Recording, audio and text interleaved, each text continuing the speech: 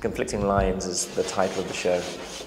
It's uh, a title that I gave to try and describe images of conflict, of looking at images of conflict, and also the lines that you are left with on the surface of the painting and them being conflicted on a surface, a line hitting a curve, a curve hitting a line, and breaking that line.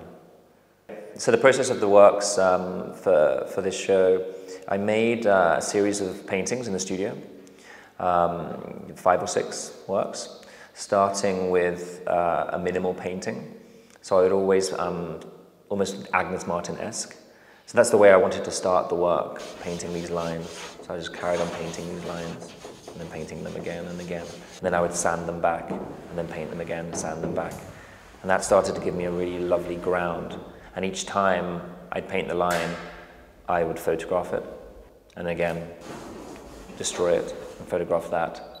And that gave me a very nice, very simple background. And I would come into the studio and I would write a sort of passage of writing onto the actual surface. And I would write again, and I would write over. And for a particular piece called The Grey Bucket, which is in the show, I would write, I, I, would, I would write a grey bucket and remove it, photograph that, and again, and again, and remove it, and photograph that. In charcoal, when you remove a chalk line, you leave a, a dust residue. When you remove oil, you don't leave, it doesn't leave dust, it leaves a very, very thick line behind. And I love that process. And, I mean, that's for me so interesting is to try and create um, a photograph that has the nature of a painting, essentially.